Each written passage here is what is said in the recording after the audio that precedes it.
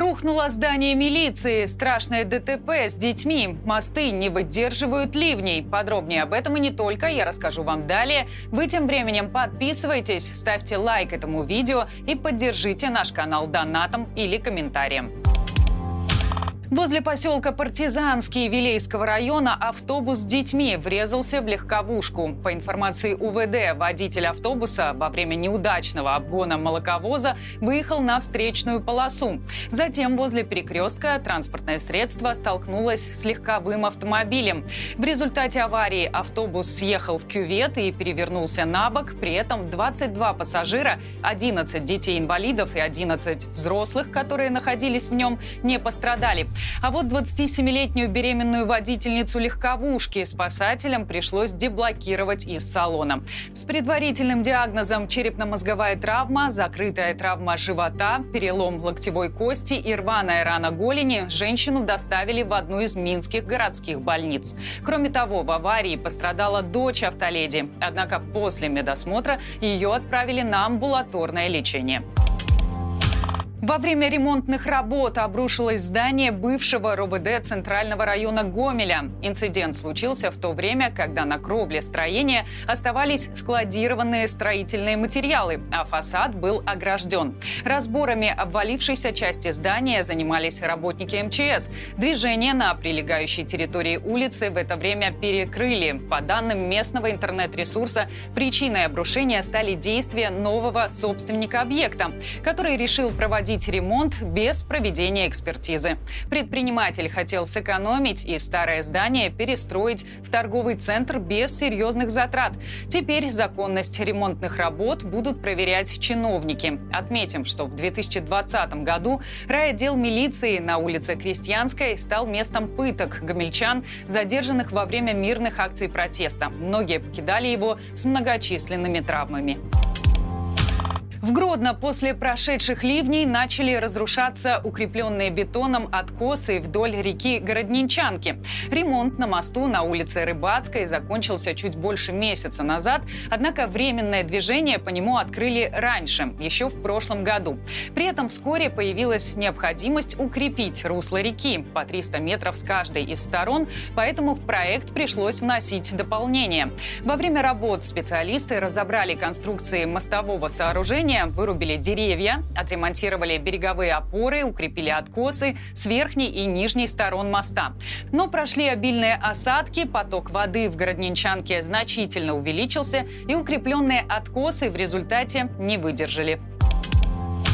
В детском реабилитационном центре «Сосновый Бор», который расположен в Брестской области, выявили норовирусную инфекцию. В результате семерых ребят из 115 постояльцев пришлось поместить в изолятор.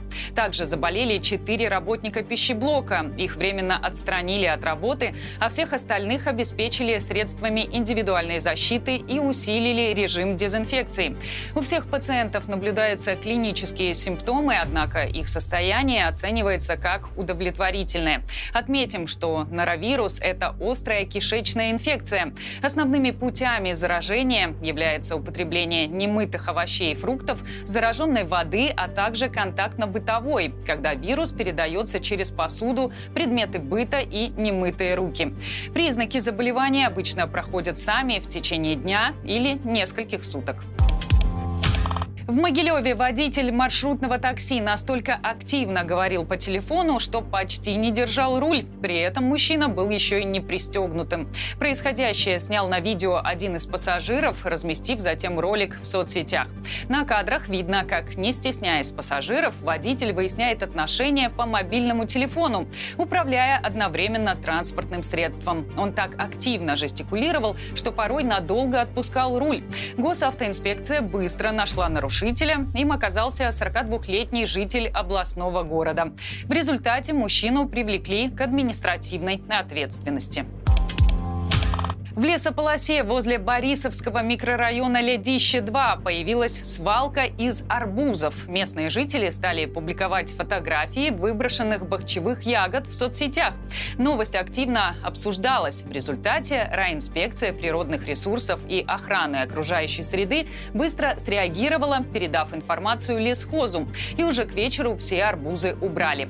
Однако нашли ли виновника, организовавшего стихийную свалку, неизвестно. По закону закону за загрязнение леса для индивидуальных предпринимателей штраф составляет до 1 тысячи рублей, а для юридических лиц – до 2 тысяч рублей. В Гродненской области продавались опасные детские игрушки. При проверке выяснилось, что уровень вредных веществ в них зашкаливал. Обнаружили сомнительные товары инспекторы госстандарта в ходе контрольных мероприятий. Исследовав игрушки и набор для лепки, специалисты пришли к выводу, что уровень химических веществ, формальдегида и фенола превышен в десятки раз. В торговых объектах инспекторы также выявили погремушки с недопустимой краской. В итоге государственный комитет по стандартизации все сомнительные игрушки запретил ввозить и продавать на территории нашей страны, а токсичные товары для детей внесли в список опасной продукции. На Гродненскую область обрушились бури, ливни и грозовой фронт. В МЧС поступали сообщения о падении деревьев в Волковыском, Вороновском, Гродненском, Лицком, Новогрудском, Ашмянском и других районах. В результате непогоды в Слониме оказалась повреждена кровля одного частного жилого дома. Спасатели зафиксировали 39 фактов падения деревьев. Одно из них рухнуло на автомобиль. К счастью, люди при этом не пострадали. Сейчас работники МЧС распиливают и убирают упавшие и аварийные деревья. В 67 населенных пунктах области нарушалось электроснабжение. Для восстановления задействовали аварийные бригады электросетей. В ближайшие дни синоптики также прогнозируют шквалистый ветер. Спасатели рекомендуют во время бури плотно закрывать окна и двери, а автомобили ставить в гараж или подальше от деревьев и слабо укрепленных конструкций. Находясь на улице, обходите навесные сооружения, надлом надломленные ветки деревьев и линии электропередач. По мере возможностей откажитесь от поездок на личных автомобилях и длительного пребывания на улице. В Гродно правоохранители задержали местного жителя, который снял очередь в отделение ГАИ, где ставят на учет автомобили. Мужчина выложил видео в ТикТок, после чего за ним пришли силовики. Как выяснилось, очереди в ГАИ собираются в связи с тем, что водители хотят быстрее переоформить автомобили по новым правилам для въезда в Польшу. Но мужчину в итоге обвинили из-за множества негативных комментариев пользователей соцсети, а также за то, что видео перепостили так называемые называемые экстремистские телеграм-каналы. Силовики заставили мужчину записать новое видео, в котором он раскаивается за снятый ролик и просит прощения у сотрудников ГАИ за вызванные неудобства.